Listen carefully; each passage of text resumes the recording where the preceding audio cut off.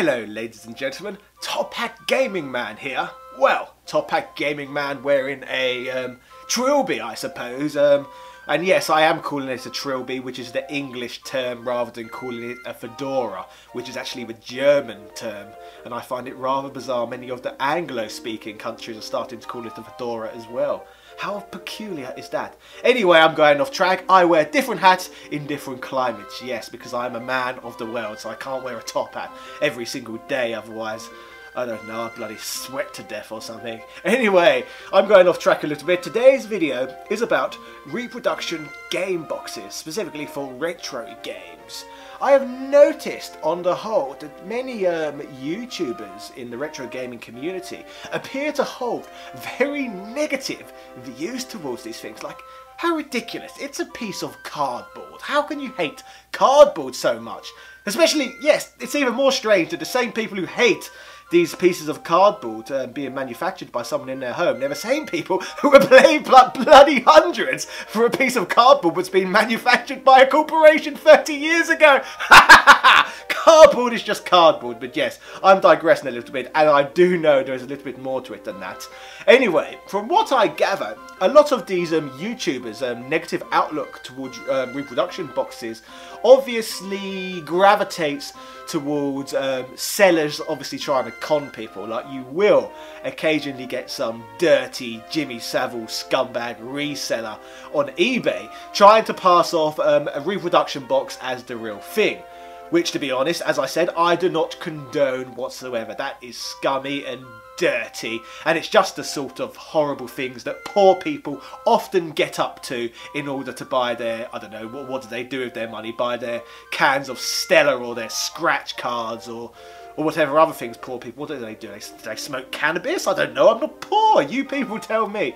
Anyway, as I said, there are negative aspects towards the reproduction boxes, well, in terms of what you can do with the reproduction boxes, but blaming the boxes themselves for that is a little bit unfair in my opinion. That's completely the seller's responsibility. They're the ones being dirty and scummy. It's essentially like saying all guns are bad as well, which is ridiculous. Like you can use a gun uh, responsibly, the same as you can use a reproduction box responsibly. It's like say, obviously, guns don't kill people, people kill people. And reproduction boxes, you can use exactly the same analogy for that as well. Whilst many YouTubers on a regular basis screech about how much they hate reproduction boxes and how they're unnecessary and unneeded, I personally could not disagree more. I bloody love a good reproduction box on occasion as they really do serve a purpose. Let's take um, European SNES cartridges, for example, Japanese Super Famicom cartridges, um, Nintendo 64 cartridges all over the world. Those cartridges feature absolutely no top label. So if you have um, hundreds upon hundreds of Super Nintendo cartridges, such as myself, if you put them all on the shelf, you can't bloody tell what you're looking at. It was just loads and loads of grey bloody cartridges. So what's the best way of dealing with that problem? Obviously finding a way in which you can display them um, in which you can actually tell which games they are so you can play them when you choose to. So on occasion I have actually ordered reproduction boxes to put on my shelves to put certain games from my collection in so I can actually see them when I choose to play them. Now obviously it's up to the individual on how many games they want to have reproduction boxes made for but I suppose as consumers ourselves it's down to us to set the rules and how we like to do things. So for me personally, if there's games I absolutely love and feel really passionate about, like let's talk about, I don't know, the really obvious ones, Secret of Mana, the Mega Man X series, um, Link to the Past, um, the Super Mario Brothers games on uh, the Super Nintendo. For games like that, I will get a completed box. I am so passionate about those games and love those games so much, I want a complete copy. So I can just skim through the manual whenever I want and look at that authentic, lovely box. However, on the same hand, I have games in my collection which I just feel a bit... I kind of like you, but at the same time you have a lot of weaknesses as well. And personally, I don't know whether I want to pay out a fortune just to put you in a box. I don't really think you deserve that, no.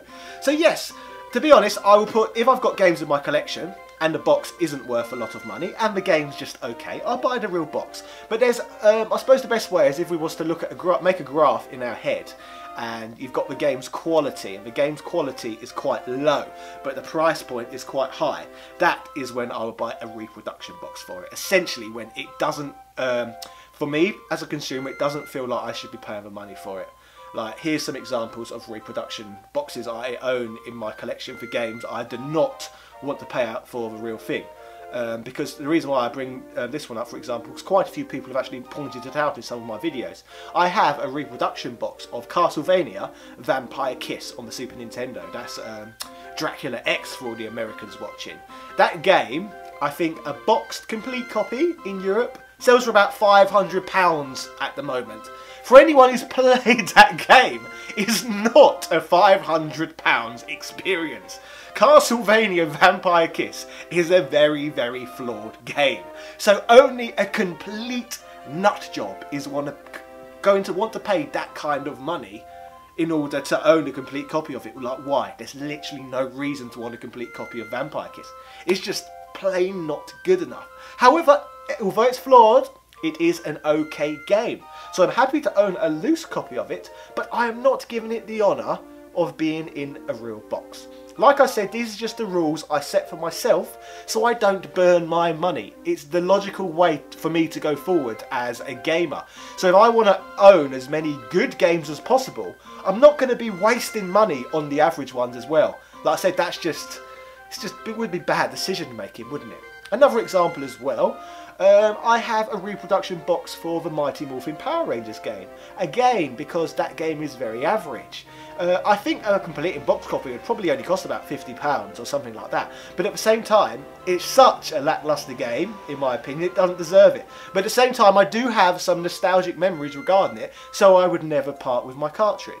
For example, I got that in the heat of Mighty Morphin Power Rangers popularity, and on top of that, I got that as a gift from my uncle, who is also now deceased, making obviously the game mean even more to me than it did before. But again, it doesn't mean enough to me that I would want it in an expensive piece of cardboard essentially when I can just get a piece of cardboard which is very very similar manufactured for one tenth of the price or one hundredth of the price in um, Vampire Kisses case. So yes, unless you're an extremely rich man, in my opinion, you should try and be as smart as possible about your retro gaming purchases. Like, don't pay out all that money for something which doesn't mean anything to you. Like, there's no point in paying out loads of money for average games. As I said, it that doesn't make any sense to me. It might make sense to you, but that's what I said. That's why you set your own rules. And these are the rules I'm set setting for myself. With regards to reproduction boxes as well, obviously as they're brand new, they look bloody ridiculously nice. They've got no creases on them. They look like you've just bought a game from a shop, especially once you've stuck it in a box protector as well. It would look exactly the same as um, a game, a real version, because it's in a box protector, so side by side the games look the same. Also, let's talk about conditions. This is um, going off track a little bit. But obviously, if you've got a reproduction box, um, it's going to be in mint condition, as I said. So if you buy an actual mint condition um, game from that period, it's going to look very, very close to a reproduction box. So for those reasons, I've always found myself going for um, boxes what a little bit more tatty. And there's several reasons why I go for the tattier games. Firstly, it's obviously been more loved and appreciated if it's got a little bit more battered. It's obviously been played and appreciated by someone so much more than a game that's in mint condition. Because if it's in mint condition, it means someone has never given it the time of day. It's in mint condition because someone essentially doesn't care about it, unless it was some weirdo back then who was looking after the box. But I think that would be extremely rare, but hmm, I'd have to think about that a bit more. Anyway, so yes, I will also prefer a tattier game because that stops it looking like a reproduction. If a game's in mint condition, it will look exactly, well, 95% the same as a reproduction game. So the tattier games actually look their genuine age. So it looks more like how a retro game should look, I suppose. And um, further on from that as well, like I said, it's just about the character these old games have. Oh, and more importantly, the Tatia ones actually are cheaper than the mint condition ones. And the mint condition ones are the ones that look the same as repros. That's what's funny about that. The Tati ones look more authentic and they're cheaper. So yes, if we're going for authenticity, a Taki game's better than a mint condition one. So yes, with regard to the reproduction boxes, overall, I think they should be manufactured for our pleasure. Our pleasure as gamers and nice little display pieces to keep our expensive um, SNES cartridges in good condition and so that we can easily just look at the shelf and select the bloody game we want. I haven't got that many reproduction uh, boxes, I must say. I'd say about a good 95% of my boxes are authentic. But like I said, on the odd occasion, I go for a reproduction box mainly to stop me, like I said, going for a box I don't want in particular. It's a good preventative measure I've put in place. And speaking of that as well, um, like we we talked about the sellers earlier um, trying to pass off reproductions as the real thing. There are a lot of differences between reproductions and the real thing which make them pretty easy to tell apart. Like if you look at the inside of the majority of reproduction boxes, uh, the cardboard's actually white. On official um, boxes, the cardboard's grey. And um, even if you touch it, it will feel different. Um, the shininess level will be different as well, have a different level of shine to the real thing. And you also normally get the Nintendo seal of approvals on games. And on um, authentic ones, it's more of a gold tinge. And on um, reproduction is more of a, like a brownie sort of tinge, I suppose. So it's very easy to tell the difference. So you're not really going to be fooled by anyone trying to pass off a reproduction of the real thing.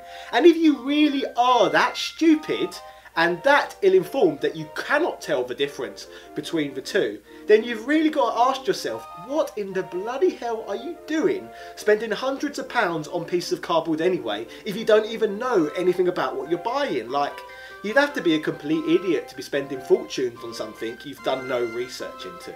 So I don't really think these resellers who constantly are vilified are really ever going to get away with their scams anyway. They're not going to get away with it. And even if they do get away with it, they've obviously sold their products to another idiot who probably deserves conning anyway, as they're buying stuff without doing any research. Okay, um, let's talk about a hypothetical scenario for a minute. Let's say, for example, a reproduction box manufacturer comes along who are so good that they manage to replicate the boxes absolutely perfect. These boxes this hypothetical manufacturer are producing are identical to that of the boxes in which Nintendo were pumping out in the 80s and the 90s. The cardboard looks the same, it feels the same, there is absolutely no difference. Then I suppose this scenario about resellers being able to pass off um, these reproductions as the real thing would become a reality. But then again, if this ever happened, which I personally don't think it could, if it happened, eventually it would only become a good thing anyway. Because you could reproduce boxes from the 80s and 90s and do it spot on. That would only be good for all of us because the costs of retro games would absolutely plummet which would be amazing for gamers all over the globe. There is literally no benefit to any of us for games to be going up in value. Unless, of course, we are talking about the evil, um, the evil niche within game collecting. So I suppose you've got all those scummy resellers, haven't you, who sit on games for years and years hoping they go up in value so they can sell them when they're at a higher price point. That'd be fantastic for the rest of us, though, wouldn't it? Watching their bloody stock plummet in value. yes, that would be absolutely lovely, wouldn't it? Seeing all those speculators suffer. So yes, for that reason, that's another reason why I like reproduction boxes. They're dangerous to the speculator, and um, they keep idiots away as well. So they're like an idiot preventer, essentially. So yes, I don't think as um, as gamers, I don't think uh, reproduction boxes are that much of a threat to us at all. If anything, they're they're good um, money savers, and they look they look bloody cool. You got to say that. Yes. So yes, overall, I bloody love a good reproduction box on occasion. Um, they are the perfect um, holder, I suppose, for my uh, average games within my collection. The ones that aren't quite good enough to pay a fortune for, but they're still good enough to want to pick up and play uh, once every couple of years. I suppose. Anyway, what are your thoughts on reproduction boxes and are they as dangerous uh, um, to the hobby as many YouTubers on here have been claiming they actually are? Because personally, as a sort of collector myself, I found them nothing but helpful on my quest um, in purchasing great games. Yes, they're lovely. Love a good reproduction box. Cheerio! Let's go.